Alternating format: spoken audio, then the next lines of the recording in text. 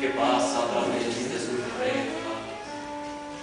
Piensa en esas muchachas tumbadas en el suelo, con el vientre húmedo, el pecho húmedo, y allí sueñan en los hombres que dirigen afuera los destinos del mundo. Y un día ya cansada de su gran aislamiento, se sintió fascinada por estos nuevos tiempos y se dejó llevar por las nuevas pasiones y quiso ser parte de estas conmociones. Porque ¿qué sería de esta revolución sin, sin una universal populación? Marat, déjalo todo, que ella viene a aquí. No hay nada más,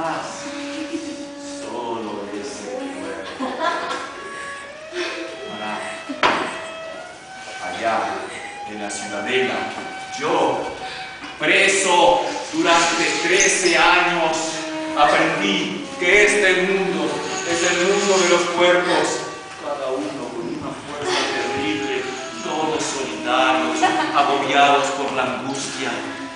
Allí, en la soledad, rodeado de muros, oía el murmullo perpetuo de los labios y seguía sintiendo, sin una pausa, en la palma de mis manos y en la piel de mi cuerpo, estos contactos deseables.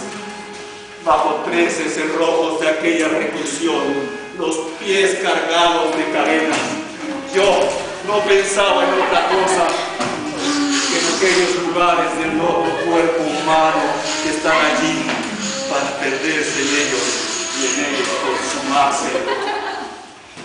Siempre desenfrenados y meditaciones muy violentas, Marat.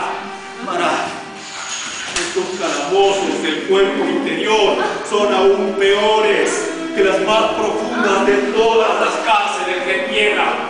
Mientras no se abran, todas, todas nuestras rebeliones se quedarán tan solo conflicto de presos aplastados por unos compañeros de celda. Porque ¿qué sería de esta revolución